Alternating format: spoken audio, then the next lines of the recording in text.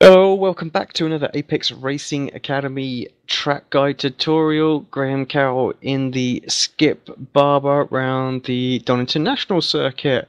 Um, Graham, we've obviously gone over this a few times now as the uh, Audi's here as well, and this is the uh, the fourth of the videos that we've done in the last hour. Um, but yeah, just give us a very very quick overview for the people who are going to tune into uh, this this one about the uh, the track guide combo, the track and car combo. Sorry.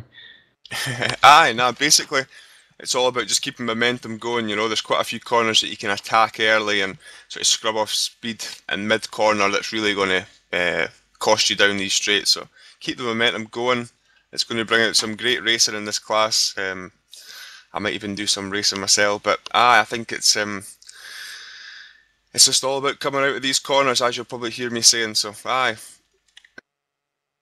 Awesome stuff. Right. Okay. Without further ado, then let's go through uh, track guide. So a half speed around Donington. Um, I'll count you in then, Graham, if that's all right. perfect, Jay. Yeah. So on three, two, one, go. So again, as you can see, um, lining myself up here for a sort of quality style lap, nice and easy going in. So it's all about the exit. Um, you basically want to be making sure the left hand part of the, the last part of the chicane's flat out um, as you get up into third gear, using as much of the curb on the right hand side as you need. Um, and you want to be bringing the car, obviously, slowly back over to the left hand side, lining yourself up for the first corner.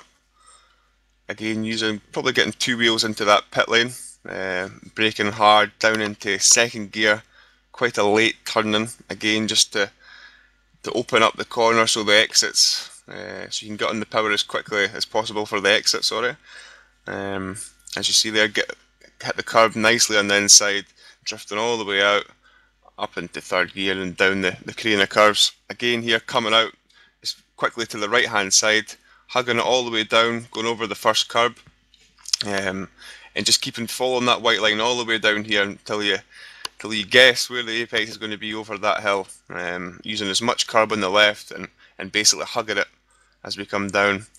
So as the sort of weight transfers to the, the left hand side of the car, I'm onto the brakes. I'm into fourth gear through here, um, easing the car in, carrying the speed.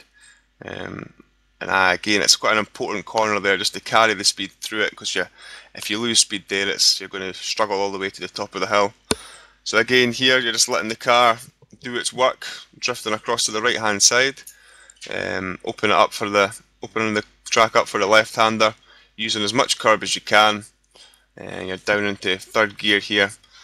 Um, quite a, a, medium, a medium to early turning.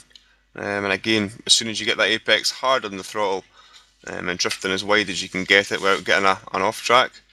So again, it's up into fourth gear, then back down into third, uh, using the curb on the left as a extra bit of turning.